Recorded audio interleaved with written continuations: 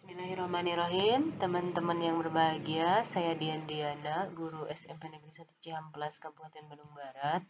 Pada kesempatan ini saya ingin berbagi tentang bagaimana cara membuat kantong tugas di Google Drive dalam bentuk folder. Tentu saja ini berfungsi untuk menyimpan file-file tugas dari baik itu siswa ataupun peserta eh, diklat misalkan.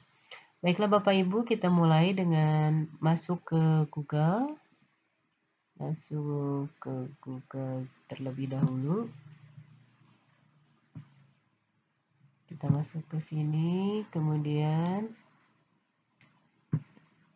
setelah terbuka kita cari Google Drive. Kalau sudah punya Drive saya tinggal klik sebenarnya. Nah, ini ada Google Drive seperti ini. Kemudian kita masuk ke drive saya. Sini. Kalau yang baru pasti buat baru gitu. Kalau sudah ada beberapa data ya tinggal buat folder baru, klik folder baru. Kemudian ini merupakan folder untuk kantong yang besar. Jadi nanti dari sini kita akan membuat folder-folder per orang. Kita beri nama misalkan kantung tugas PKP seperti ini kita buat. Nah diproses lalu ada terbentuk ini kantung tugas PKP kita klik dua kali. Kemudian di sini ada tempat untuk menyimpannya menyimpan file-file. Nah caranya kalau ini kan kita uh, buat folder untuk per nama nih per peserta.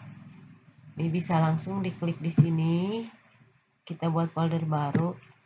Di sini nanti kita kasih nama per peserta. Misalkan di sini Yanti Astuti. Nah kita buat sini. Maka akan nampak nantinya di sini langsung nama peserta. Kemudian kita buat nama yang lain. Misalkan hmm, Sumaroto. Nanti kita buat terus menerus sejumlah peserta yang uh, mengikuti kegiatan atau yang akan menyimpan file. Misalkan di sini Elis Lisnawati terus sampai sejumlah sejumlah siswa. Nanti uh, akan terbentuk misalkan seperti ini. Nah, kantong tugasnya yang sudah selesai. Nah, ini misalkan ada 20 orang, masukkan 20 orang ini. Nah, untuk supaya peserta tersebut tahu bagaimana di mana meletakkan, kan sudah ada pernama. Nanti kita berikan juga link kepada setiap peserta untuk menyimpan filenya. Seperti ini. Ya, ini link yang bisa dibagikan. Nih, klik. Nah, ini misalkan kita akan mengirimkan ke uh, yang tadi ya. Elis misalkan. Elis. Mengirimkan ke Elis. Nah seperti ini. Uh, lebih baik sih bagusnya dibuat apa linknya diperpendek dengan bit.ly atau gg.gg atau bitdo bisa saja. Nah ini seperti ini. Kita bagikan kalau misalkan kita mau uji coba langsung saja ini diklik masuk ke yang tadi tidak. Nah, masuk. Ya.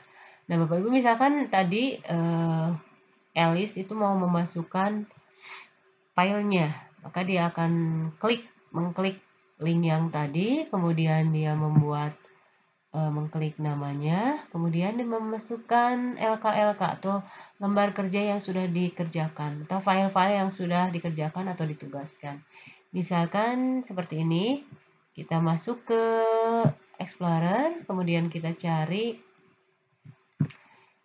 dokumennya di sebelah mana, misalkan dokumennya di sini. Kita cari LK1. Nah, sudah bertemu LK1, maka kita drag saja langsung. Diklik dulu diklik dulu ininya kemudian di drag ke nah sini. Masuk satu LK1 kemudian selanjutnya nah ini sudah ada. LK2 kita ke Explorer lagi. Kemudian cari LK2 diklik tarik di drag masuk lagi ke sini. Kita upload LK2 nya kita tunggu. Nah seperti ini. Misalkan eh, contohnya lagi. Satu lagi LK3 kita ke Explorer. Klik LK3 masuk lagi dan kita masukkan seperti ini nah itu tadi teman-teman eh, cara menyimpan eh, file-file tugas di dalam kantong tugas dalam folder masing-masing. Sudah selesai. Semoga bermanfaat. Assalamualaikum warahmatullahi